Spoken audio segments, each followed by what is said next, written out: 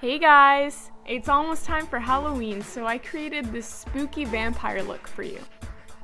Paint all of your nails black, and then using white nail polish, create the outline of the vampire's face, and then fill it in.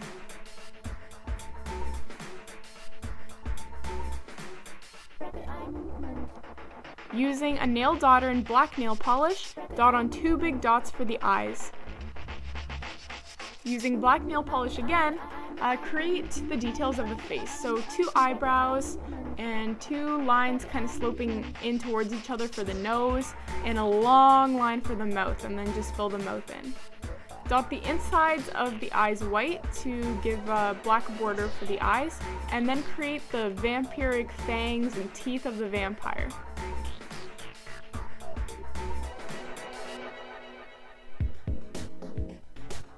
Dot the insides of the eyes red to give it a final vampiric touch.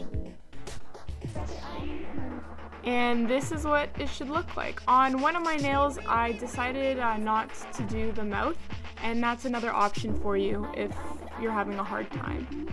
So just apply a top coat and you're all finished.